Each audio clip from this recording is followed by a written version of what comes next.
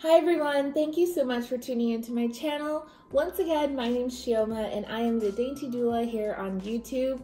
This has been a great journey so far. I love connecting to the community here. So if you're new, definitely subscribe to my channel and introduce yourself in the comments as I would love to meet you and be able to hear your story.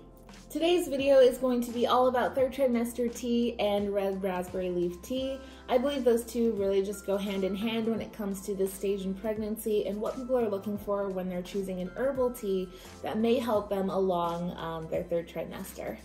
The greatest myth when it comes to third trimester tea is that it's going to induce your labor and start contractions right away.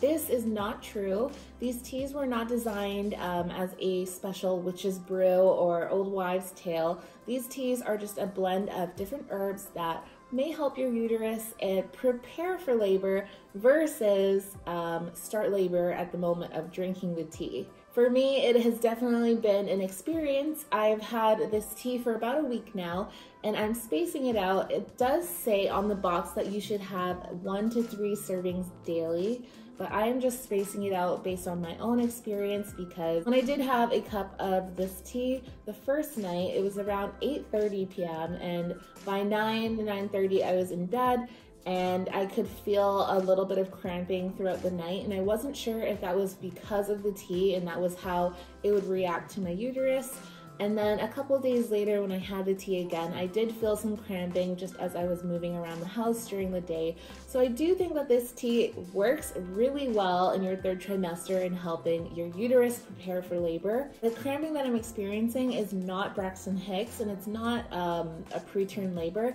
So I don't think that this tea is going to impact when my baby comes in any way. Um, it's not something that I'd want to experience one to three times daily. So, what's best for me, in my opinion, is to just have it a couple times a week to really keep my um, abdomen and uterus active and preparing for baby's big day, whenever that's going to be, sometime in the next few weeks. If you're a mom who's in her last trimester and really looking for ways to induce your labor, please contact your um, healthcare provider or physician before trying anything like a third trimester tea um, multiple times a day to try and get those contractions going strong. You want to make sure that you're doing what's safest and healthiest for your baby.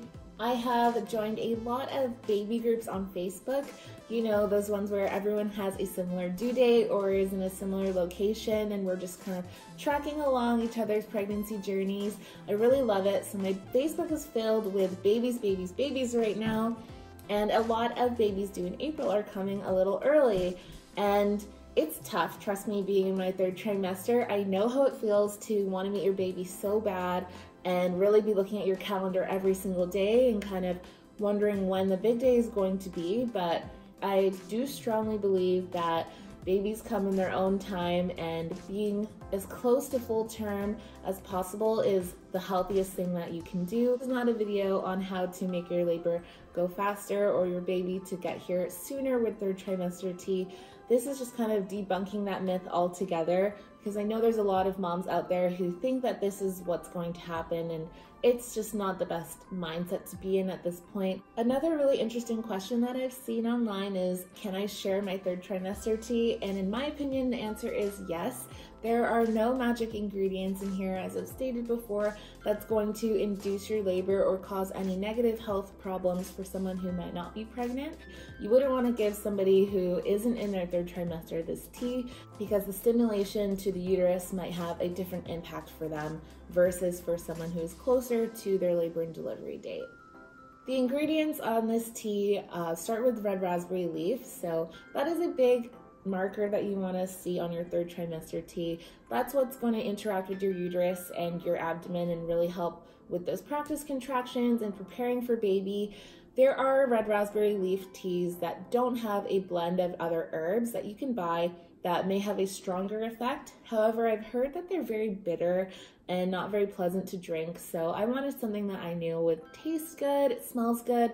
This one has mint in it, alfalfa leaf, um, chamomile, rosehip, and the third trimester organic blend tea by Earth Mama is really highly reviewed. Earth Mama is a huge brand that is going to be commonly found um, in different baby stores, as well as places like Shoppers Drug Mart in their tea section or your local grocery store. I have not seen a red raspberry leaf tea in person, just online. So Amazon.ca is a really good resource for you if you want to find something specific, just order it online. Being my third trimester at this point has taken a big toll on my mental and physical health. So these small things that I can do every single day, I find are such a blessing because having that feeling of anxiousness or uncertainty is really, really, really hard. And I know that people in their third trimester are going to be experiencing um, a lot of what ifs and questions. So, doing small things for yourself and really monitoring your mental health is so important. And tea is a really good way to just take a moment out of your day, either um, in the morning or at night, sometime when you have a free second to just calm down and relax. That's why I really wanted a third trimester tea specifically because it helps me feel like I'm doing something really good for my body and helping me prepare for this baby in just even the smallest way. Thank you guys so much for watching my video. I hope that it helped clarify any questions you may have had about red raspberry leaf tea or third trimester teas in general. I would love to connect with you even more in the comment section. Let me know if you've had an interesting experience with third trimester teas like I have, feeling any cramps or physical changes, or if it's more of a neutral calming effect for you and it's just like a nice herbal tea you like to have. Make sure you hit that like and subscribe button and let's keep this community growing.